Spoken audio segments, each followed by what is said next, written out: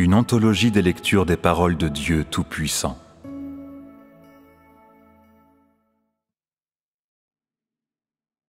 Dieu lui-même, l'unique. 8. Dieu est la source de vie pour toute chose. 2.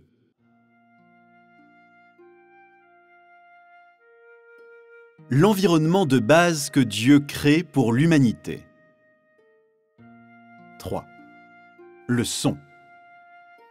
La troisième chose est le son. C'est aussi une des choses qui doit se retrouver dans un environnement de vie normal pour les êtres humains. Le son commença à exister au moment où Dieu créa tout. Dieu s'en occupa correctement à ce moment-là. C'est une chose très importante pour Dieu et pour la survie de l'humanité. Si Dieu ne s'était pas occupé correctement du cas du son, cela aurait été un obstacle majeur à la survie de l'humanité. C'est-à-dire que cela aurait eu un impact significatif sur le corps et la vie de l'homme jusqu'au point où l'humanité n'aurait pu survivre dans un tel environnement. Il peut aussi être dit que toutes choses vivantes ne peuvent survivre dans un tel environnement. Donc, quelle est cette chose? Il s'agit du son. Dieu créa tout, et tout vit dans les mains de Dieu. Sous les yeux de Dieu, toute chose bouge et vive. Dieu créa toute chose et l'existence de chacune a une valeur et une signification. C'est-à-dire qu'il y a une raison d'être pour l'existence de chacune. Cependant, parmi toutes choses créées par Dieu, chaque chose a une vie. Comme elles sont toutes actives et mouvantes, elles vont tout naturellement produire des sons. Par exemple, la Terre tourne continuellement, le Soleil tourne continuellement, et la Lune aussi tourne continuellement. Des sons sont continuellement générés dans la vie et les mouvements de toutes choses. Les choses sur Terre se propagent, se développent et bougent continuellement. Par exemple, la base des montagnes bouge et se déplace pendant que toute chose vivante dans les profondeurs des océans bouge et nage. Ces choses vivantes, toutes choses sous les yeux de Dieu, sont toutes constamment, normalement et régulièrement en mouvement. Alors qu'amène la propagation, le développement et le mouvement subreptice de ces choses? De puissants sons. En plus de la Terre, toutes sortes de planètes sont aussi en mouvement constant, et des choses et des organismes vivants sur ces planètes se propagent, croissent et sont aussi continuellement en mouvement. C'est-à-dire que toutes choses, vivantes ou non, croissent constamment sous les yeux de Dieu, et quand toutes sortes de choses vivantes sont en mouvement, elles font aussi en même temps des sons. Dieu s'est aussi occupé de ces sons. Pourquoi? Vous devriez le savoir, non? Quand vous vous approchez d'un avion, qu'est-ce que le son rugissant de l'avion aura comme effet sur vous? Nos oreilles seront assourdies. Cela endommagera-t-il l'ouïe des gens? Est-ce que leur cœur pourra le supporter? Non. Certains, qui ont un cœur plus faible, ne pourront pas le supporter. Évidemment, même ceux qui ont un cœur plus fort ne pourront pas le supporter pour une période prolongée. Ce qui veut dire que l'impact du son sur le corps humain, que ce soit sur les oreilles ou le cœur, est extrêmement signifiant pour chaque personne, et des sons trop forts pourront causer du mal aux gens. Donc, après que Dieu eut créé toutes choses et qu'elles commencèrent à vivre normalement, Dieu a aussi traité avec ses sons, le son de toute chose en mouvement, de manière appropriée. C'est aussi l'une des considérations nécessaires de Dieu quand il a créé un environnement pour l'humanité. Premièrement, la position de l'atmosphère au-dessus de la surface de la Terre éliminera et restreindra les sons. Aussi, la quantité d'espace entre les terres, c'est-à-dire la dimension des espaces vides dans le sol, manipulera et influencera aussi le son. Ensuite, il y a la confluence des différents environnements géographiques qui, eux aussi, affecteront le son. Ce qui veut dire que Dieu utilise certaines façons pour éliminer certains sons afin que les humains puissent survivre dans un environnement que leurs oreilles et leur cœur peuvent tolérer. Autrement, les sons feront sérieusement obstacle à la survie de l'humanité et causeront des problèmes importants à la vie. C'est un grave problème. C'est-à-dire que Dieu a été très particulier dans sa création des terres, de l'atmosphère et des divers types d'environnements géographiques. La sagesse de Dieu est présente en tout cela. La compréhension de l'humanité ne requiert pas trop de détails. Elle a seulement besoin de savoir que l'action de Dieu est présente. Maintenant, dites-moi, Dieu a manipulé le son de façon très précise. Il a fait ce travail pour conserver l'environnement de vie et la vie normale de l'humanité. Est-ce que ce travail était nécessaire? Oui. Si ce travail était nécessaire, vu sous cet angle, alors peut-on dire que Dieu se soit servi de cette façon pour soutenir toute chose? Dieu a fourni et a créé pour l'humanité un environnement si paisible, afin que le corps humanité puisse vivre normalement dans cet environnement, et que l'humanité puisse vivre et exister normalement sans interférence.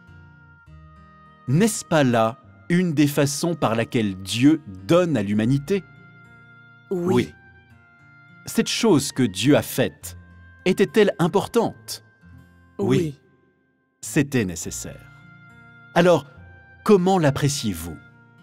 Même si vous ne pouvez ressentir que c'était l'action de Dieu, pas plus que vous ne savez comment il a procédé à ce moment-là, pouvez-vous quand même ressentir qu'il était nécessaire que Dieu l'accomplisse?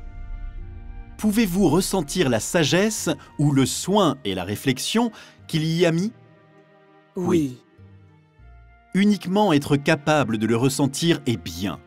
C'est suffisant. Il y a beaucoup de choses que Dieu a faites parmi toutes choses que les gens ne peuvent ressentir et qui sont difficiles à voir pour eux. Mon objectif, en le mentionnant ici, est simplement de vous fournir certaines informations sur les actions de Dieu afin que vous puissiez le connaître. Ces indices peuvent vous amener à mieux connaître et comprendre les actions de Dieu. 4. La lumière.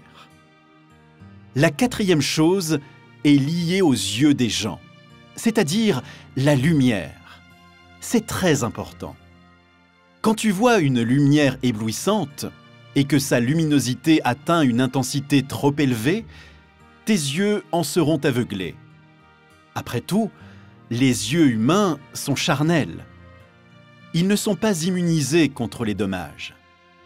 Y a-t-il quelqu'un qui ose regarder le soleil directement? Non. Quelqu'un l'a-t-il essayé? Quelqu'un peut le regarder avec des verres fumés, non? Cela requiert l'utilisation d'accessoires. Sans accessoires, les yeux nus de l'homme ne se risquent pas à regarder le soleil directement. Les êtres humains n'ont pas cette capacité. Dieu a créé le soleil pour apporter la lumière à l'humanité. Il a aussi manipulé cette lumière. Dieu n'a pas simplement laissé de côté le soleil après l'avoir créé. Qui se soucie de ce que les yeux de l'homme ne puissent le supporter? Dieu ne fait pas les choses comme cela. Il fait les choses en douceur et considère chaque aspect. Dieu a donné des yeux à l'humanité pour qu'elle voie. mais il a aussi établi une gamme de luminosité selon laquelle elle peut voir. Cela ne fonctionnera pas s'il n'y a pas assez de lumière. S'il fait si noir que les gens ne peuvent pas voir leurs mains devant eux, leurs yeux perdront leur fonction et deviendront inutiles. Les yeux des gens ne pourront pas supporter les endroits trop éblouissants, et encore là, ils ne pourront rien voir. Donc, dans l'environnement dans lequel l'humanité vit, Dieu lui a donné la quantité de lumière appropriée aux yeux humains. Cette lumière ne blessera ni n'endommagera les yeux des gens, ni ne fera perdre aux gens la fonction de leurs yeux. Elle peut aussi assurer que les yeux des gens voient clairement tout ce qu'ils devraient voir. C'est pourquoi Dieu a ajouté le nombre approprié de nuages autour du Soleil et de la Terre la densité de l'air est aussi à même de filtrer la lumière qui pourrait blesser les yeux humains ou leur peau. C'est parallèle. De plus, la couleur de la Terre créée par Dieu reflète la lumière du Soleil et tout type de lumière, et élimine la partie de la luminosité dans la lumière qui pourrait être inconfortable pour les yeux humains. De cette façon, les gens n'ont pas à toujours porter des verres fumés très opaques pour se promener à l'extérieur et mener leur vie. Dans des conditions normales, les yeux humains peuvent voir les choses dans leur rayon de vision sans l'interférence de la lumière, pourvu que la lumière ne soit pas trop perçante ni trop obscure. Si c'est trop obscur, les yeux des gens seront endommagés et, avant longtemps, ils ne fonctionneront plus. Si c'est trop lumineux, les yeux des gens ne pourront pas le supporter et leurs yeux seront inutilisables dans 30 à 40 ans ou dans 40 à 50 ans.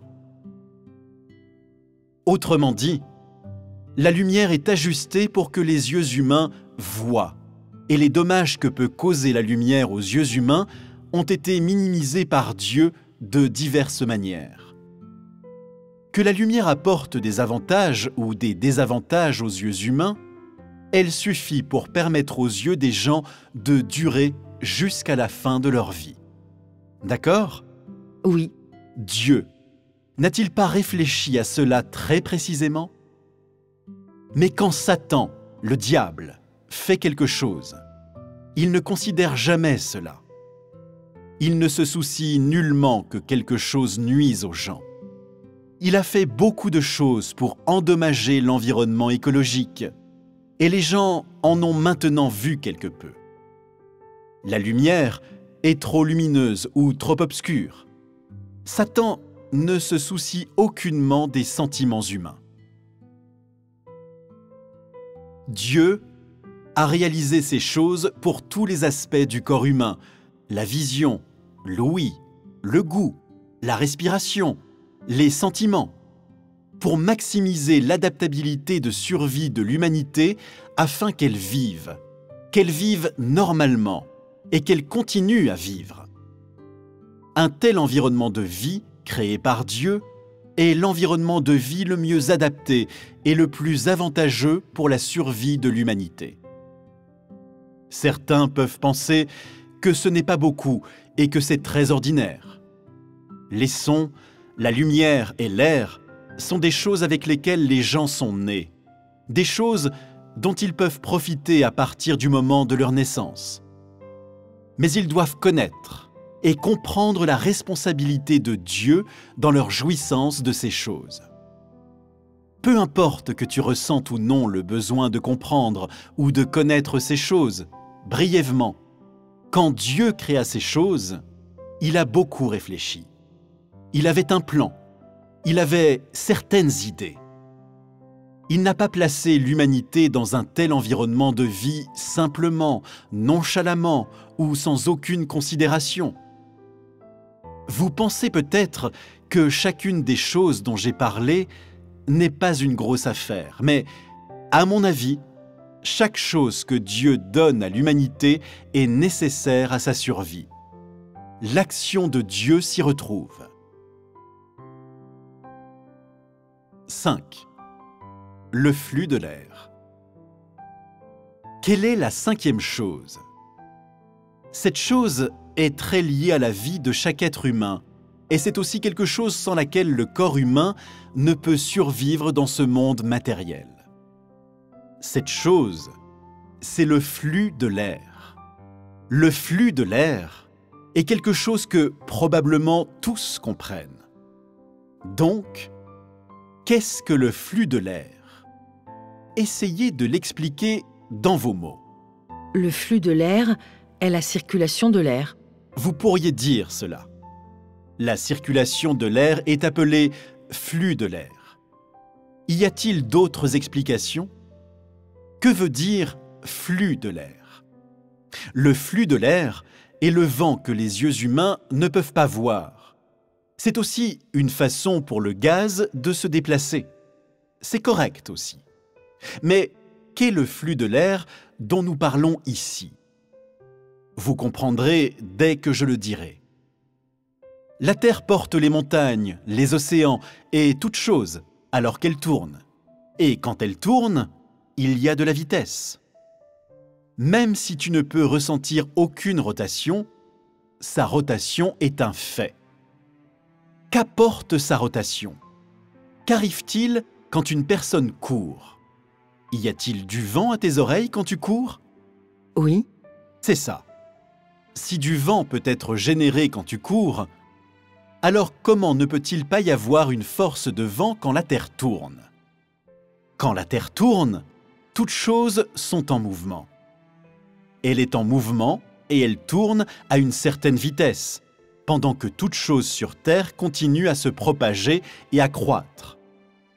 Donc, se déplacer à une certaine vitesse entraînera tout naturellement le flux de l'air. Tel est le flux de l'air. Est-ce que ce flux d'air affectera dans une certaine mesure le corps humain? Oui, Il l'affectera. Si la Terre est remplie de plaines, quand la Terre et toute chose tournent à une certaine vitesse, le corps humain fragile ne pourrait pas supporter la force du vent. Taïwan et Hong Kong connaissent tous deux des typhons. Ces typhons ne sont pas très puissants, mais quand ils frappent, les gens ne peuvent pas se tenir debout et il leur est difficile de marcher à cause du vent. Il est même difficile de faire un pas. C'est une des façons par laquelle le flux de l'air peut affecter l'humanité. Si la Terre est remplie de plaines, le flux d'air généré quand la Terre tourne n'est pas quelque chose que le corps humain peut supporter.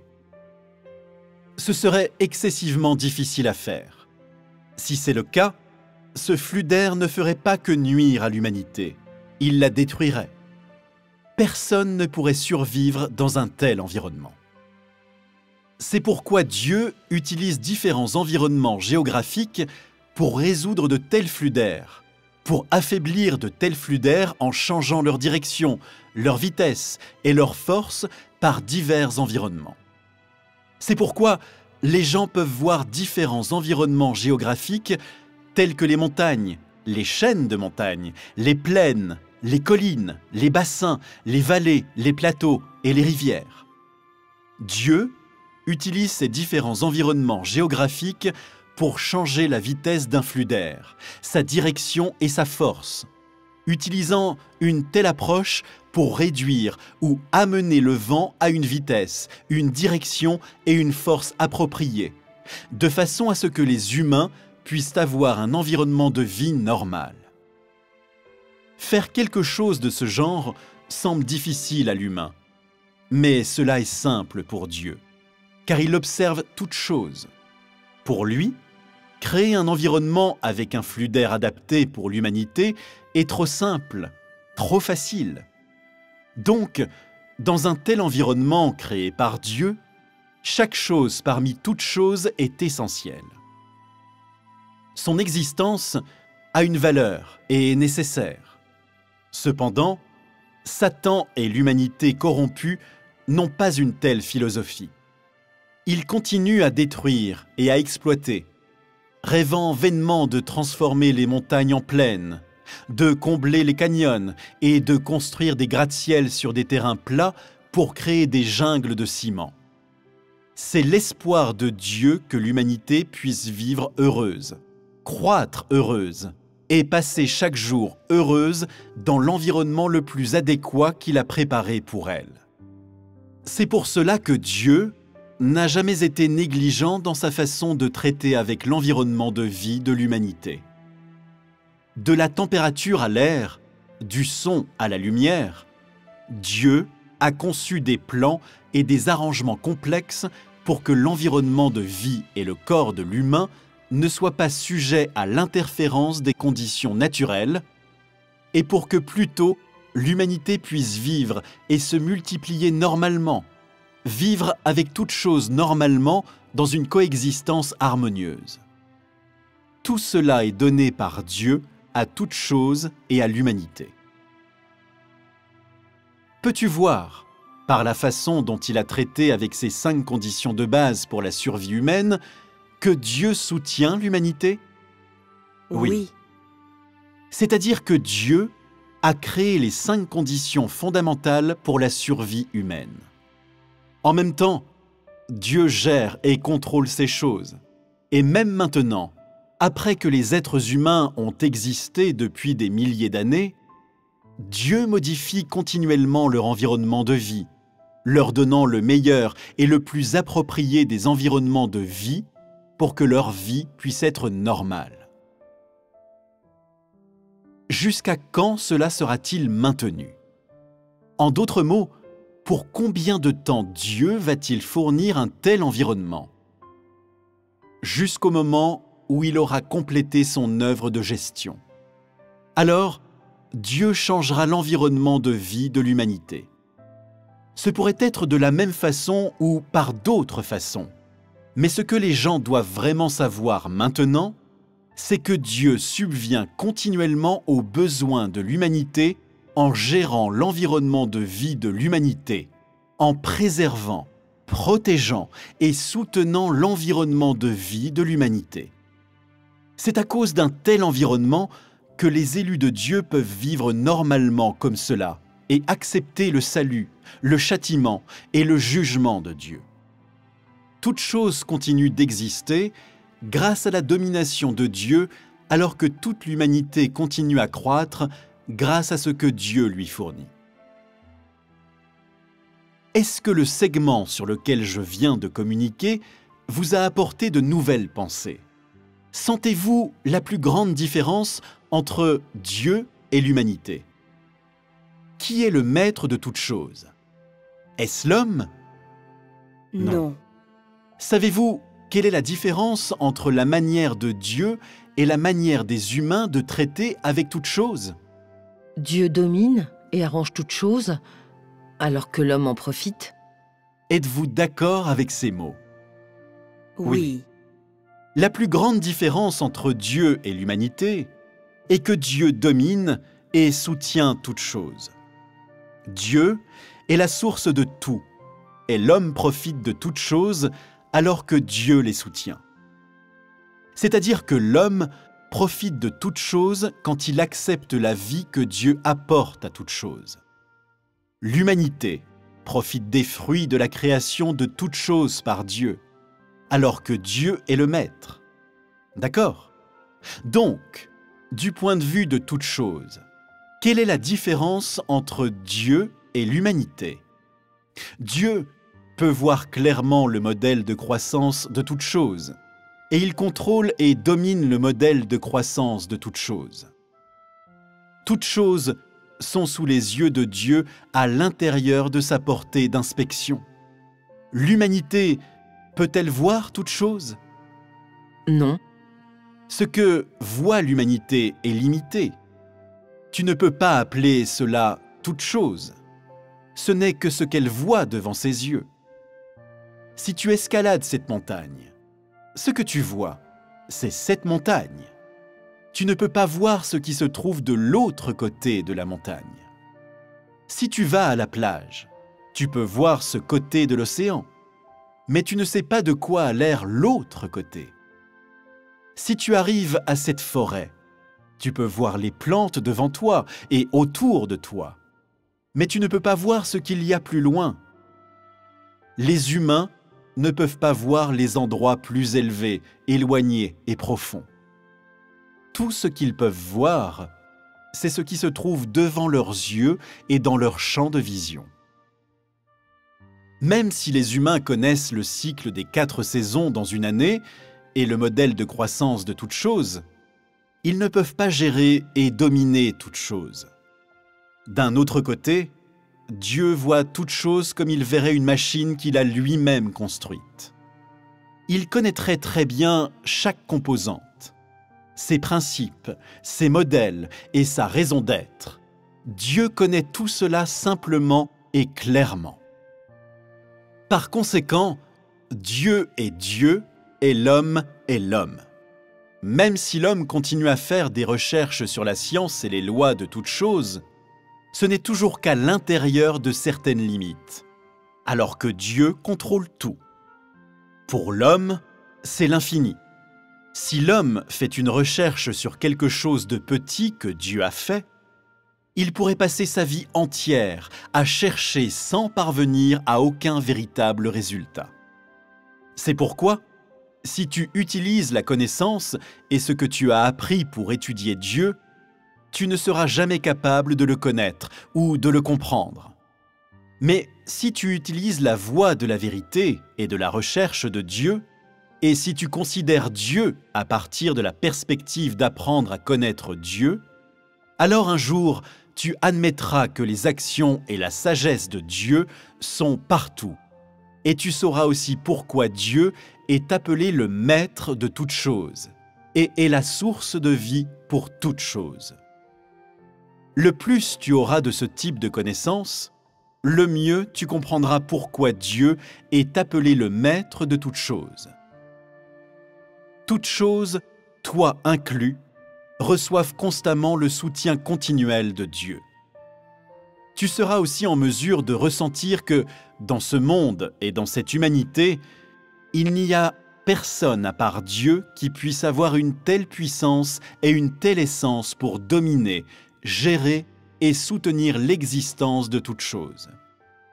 Quand tu parviendras à une telle compréhension, tu admettras véritablement que Dieu est ton Dieu. Quand tu atteins ce point, tu as véritablement accepté Dieu et tu l'acceptes comme ton Dieu et ton Maître. Quand tu auras une telle compréhension et que ta vie arrivera à un tel point, Dieu ne t'éprouvera pas et ne te jugera pas. Pas plus qu'il ne te fera d'autres demandes, parce que tu comprends Dieu, tu connais son cœur et tu as sincèrement accepté Dieu en ton cœur. C'est une raison importante pour communiquer sur la domination et la gestion de toutes choses. C'est pour donner plus de connaissances et de compréhension aux gens, pas seulement pour que tu admettes mais pour te donner une connaissance et une compréhension pratique des actions de Dieu.